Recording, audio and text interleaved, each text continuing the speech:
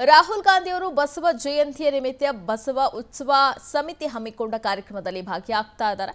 ಬೆಳಗ್ಗೆ ಹನ್ನೊಂದು ನಲವತ್ತಕ್ಕೆ ಹೆಲಿಕಾಪ್ಟರ್ ಮೂಲಕ ಬಾಗಲಕೋಟೆ ಜಿಲ್ಲೆ ಹುನಗೊಂದ ತಾಲೂಕಿನ ಕೂಡಲ ಸಂಗಮಕ್ಕೆ ಅವರು ಆಗಮಿಸಿದ್ದಾರೆ.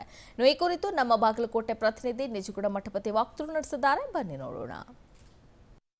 ರಾಹುಲ್ ಗಾಂಧಿ ಇಂದು ಬಾಗಲಕೋಟೆ ಜಿಲ್ಲೆಯ ಹುನಗುಂದ ತಾಲೂಕಿನ ಕೂಡಲ ಸಂಗಮಕ್ಕೆ ಭೇಟಿ ನೀಡುತ್ತಿದ್ದು ಕ್ಷಣಗಣನೆ ಆರಂಭವಾಗಿರ್ತಕ್ಕಂಥದ್ದು. ನಾನೀಗ ಬಾಗಲಕೋಟೆ ಜಿಲ್ಲೆಯ ಹುನಗುಂದ ತಾಲೂಕಿನ ಸುಕ್ಷೇತ್ರ ಕೂಡಲ ಸಂಗಮದಲ್ಲಿದ್ದೀನಿ. ದೃಶ್ಯಾವಳಿಗಳಲ್ಲಿ ನೋಡ್ಬೋದು.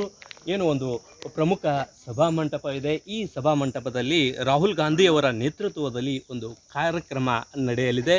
ಇವತ್ತು ಏನು ವಿಶೇಷವಾಗಿ ಬಸವ ಜಯಂತಿಯ ನಿಮಿತ್ತವಾಗಿ ಬಸವ ಉತ್ಸವ ಸಮಿತಿಯ ವತಿಯಿಂದ ಕಾರ್ಯಕ್ರಮವನ್ನು ಕೂಡಲ ಸಂಗಮದಲ್ಲಿ ಹಮ್ಮಿಕೊಳ್ಳಲಾಗಿದ್ದು, ಆ ಒಂದು ಕಾರ್ಯಕ್ರಮದಲ್ಲಿ ಏನು ಕಾಂಗ್ರೆಸ್ನ ರಾಷ್ಟ್ರೀಯ ಏನು ಹಿರಿಯ ನಾಯಕನಾಗಿರ್ತಕ್ಕಂಥ ರಾಹುಲ್ ಗಾಂಧಿಯವರು ಈ ಒಂದು ಕಾರ್ಯಕ್ರಮದಲ್ಲಿ ಭಾಗಿಯಾಗ್ತಿರ್ತಕ್ಕಂಥದ್ದು. ಅದೇ ರೀತಿ ರಾಹುಲ್ ಗಾಂಧಿಯವರಿಗೆ ರಾಜ್ಯದ ಕಾಂಗ್ರೆಸ್ ಹಿರಿಯ ನಾಯಕರು ಸಾಥ್ ನೀಡಲಿರ್ತಕ್ಕಂಥದ್ದು ಸಿದ್ದರಾಮಯ್ಯನವರು ಈ ಒಂದು ಕಾರ್ಯಕ್ರಮದಲ್ಲಿ ಭಾಗಿಯಾಗುವಂಥದ್ದು. ಮತ್ತು ಒಟ್ಟಾರೆಯಾಗಿ ಈ ಒಂದು ಕಾರ್ಯಕ್ರಮದ ಉದ್ದೇಶ ಯಾಕಂತಂದರೆ ಚುನಾವಣೆಯ ಹೊಸ್ತಿಲಲ್ಲಿಯೇ ಒಂದು ಬೆಳವಣಿಗೆಗಳು ಆಗ್ತಿರ್ತಕ್ಕಂಥದ್ದು. ಬಿ ಜೆ ಪಿ ರಾಜ್ಯದಲ್ಲಿನ ರೈತರನ್ನು ಕಡೆಗಣಿಸುತ್ತಾ ಇದೆ ಅನ್ನೋ ಏನು ಆರೋಪದ ಬೆನ್ನಲ್ಲೇ ಇವಾಗ ರಾಹುಲ್ ಗಾಂಧಿಯವರು ಕೂಡಲ ಸಂಗಮದತ್ತ ಚಿತ್ತ ಹರಿಸಿದ್ದು. ಇವತ್ತು ಕೂಡಲ ಸಂಗಮದಲ್ಲಿ ಬಸವಣ್ಣನ ದರ್ಶನವನ್ನು ಪಡೆ ಐಕ್ಯ ಮಂಟಪಕ್ಕೆ ಹೋಗಿ ಇಷ್ಟಲಿಂಗುವಿನ ದರ್ಶನ ಪಡೆದು, ಸಂಗಮನಾಥನ ದರ್ಶನ ಪಡೆದು, ನಂತರ ಈ ಒಂದು ಸಭಾ ಮಂಟಪದಲ್ಲಿ ಒಂದು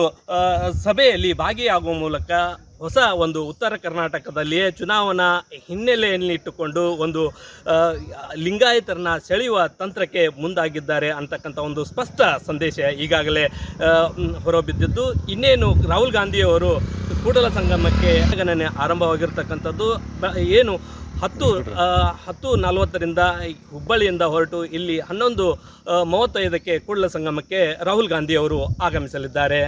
ಕೂಡಲ ಸಂಗಮದಿಂದ ನಿಜಗುಣ ಮಠಪತಿ ಪವರ್ ಟಿವಿ, ಬಾಗಲಕೋಟೆ.